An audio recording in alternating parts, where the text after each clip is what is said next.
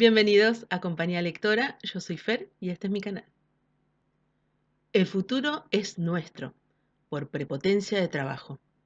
Crearemos nuestra literatura no conversando continuamente de literatura, sino escribiendo en orgullosa soledad libros que encierran la violencia de un cross a la mandíbula.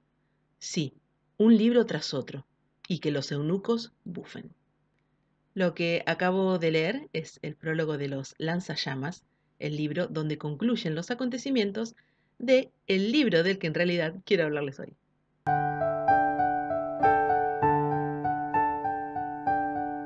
Pero antes los invito a suscribirse, activar las notificaciones, comentar, compartir. Todo eso me ayuda mucho. Hoy quiero hablarles de un autor y un libro que me apasionan, Roberto Arlt y sus siete locos. Roberto Arlt nació en Buenos Aires el 2 de abril de 1900.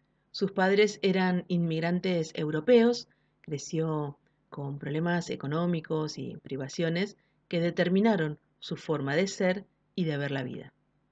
Se fue muy joven de su casa, trabajó de lo que pudo, hasta que terminó en el periodismo. Escribió crónicas policiales para el diario Crítica, luego trabajó en el diario El Mundo con sus notas aguafuertes porteñas, son textos breves que conformaban una columna diaria que escribió entre 1928 y 1933. Y les cuento todo esto porque en el caso de este escritor es importante conocer detalles de su vida, ya que es imposible leer Los Siete Locos y no pensar en este cronista urbano que recorría la ciudad en transporte público, que escribía para vivir y que mm, robaba horas a lo que pudiera para dedicarse a su literatura. Fue muy prolífico, escribió cinco novelas, siete obras de teatro, más de 1800 aguafuertes, cuentos y ensayos. Murió muy joven, murió a los 42 años y siento que no hay manera de pensar todo lo que nos perdimos.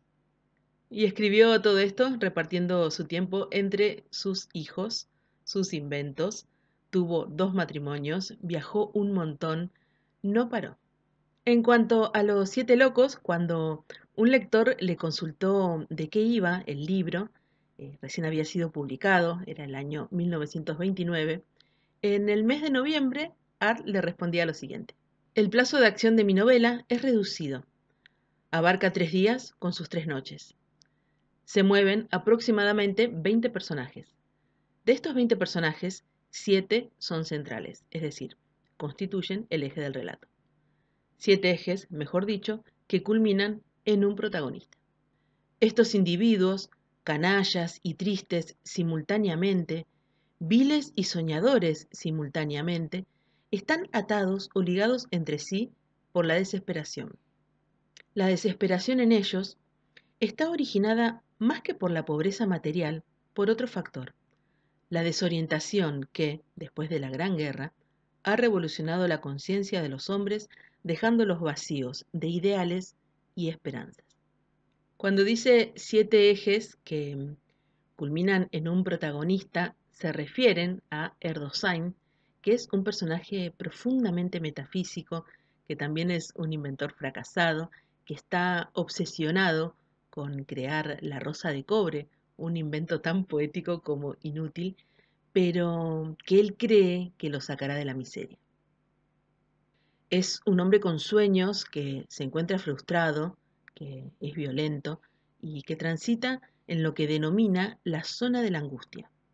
Otros personajes son Ergueta, Hipólita y Barsud. Y cuando en un momento Erdosain saque un boleto en tren para ir a Temperley, va a la quinta de El Astrólogo, que es otro personaje, y ahí conoceremos también a el hombre que vio a la partera y al rufián melancólico. Curiosos apodos, es verdad, pero tienen una historia detrás. Vamos a conocerla de este último. Erdosain examinaba ahora al rufián melancólico. Así lo llamaba el astrólogo, porque el Macro, hacía muchos años, había querido suicidarse. Fue aquel un asunto oscuro. Del día a la noche, Hafner, que hacía tiempo explotaba a prostitutas, se deserrajó un tiro en el pecho, junto al corazón. La contracción del órgano en el preciso instante de pasar el proyectil le salvó de la muerte. Luego, como es natural, continuó haciendo su vida, quizás con un poco más de prestigio por ese gesto que ninguno de sus camaradas de rapiña se explicaba. Mientras avanzamos con la historia, vamos notando que estos personajes están todos fisurados. No hay manera, uno va intuyendo, de que no terminen en desastre. Hay una violencia latente que en medio de tanta declamación, se va a traducir en acciones. Y el espíritu de Sartre también rodea la obra constantemente. Eh, hay un momento, el narrador, que me gustaría compartirles. Esta atmósfera de sueño y de inquietud que lo hacía circular a través de los días como un sonámbulo, la denominaba Erdosain la zona de la angustia. Esta zona de angustia era la consecuencia del sufrimiento de los hombres y como una nube de gas venenoso se trasladaba pesadamente de un punto a otro, penetrando murallas y atravesando los edificios, sin perder su forma plana y horizontal. Angustia de dos dimensiones que, guillotinando las gargantas, dejaba en éstas un regusto de sollozo. Tal era la explicación que Erdosain se daba cuando sentía las primeras náuseas de la pena.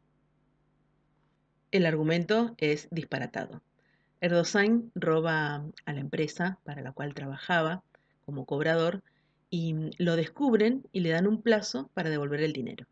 No es por el dinero en sí que él robó, sino lo que él siente como la alegría de, de ser ladrón, tomarse así un desquite de su existencia a la que siente mezquina y humillada. Desesperado ante la falta de dinero y perspectiva, se une a una sociedad secreta que pretende cambiar el orden mundial a través de una cruel y terrible revolución social que está ideada por el astrólogo. Elaboran un esquema para instalar prostíbulos, que serán el principal fundamento económico de la organización, y el resto de sus delirios y las consecuencias los conocerán cuando lean el libro. Lo recomiendo muchísimo pero creo que no es una lectura para hacer en cualquier momento. Hay que abordarla con cierto temple. Eh, lo he leído un par de veces en mi club de lectura y he recibido comentarios de que los dejaba mal de ánimo a algunos de los participantes. Y bueno, para mí la literatura es poderosa, me gusta cuando provoca estas sensaciones y lo que sucede tal vez es que mm, es áspero el mensaje de la novela la desesperanza y estos personajes que se encuentran, digamos, en una zona moralmente borrosa, pueden agobiar. Hay una muerte que perturba, no voy a decir de quién, eh, como que se acentúa eso de que la muerte ilumina la forma en la que uno vivió, porque esa clase de muerte en ese personaje es tan terrible, pero también señala algo. Nos dice en qué mundo estamos viviendo y con qué clase de psicópatas nos rodeamos.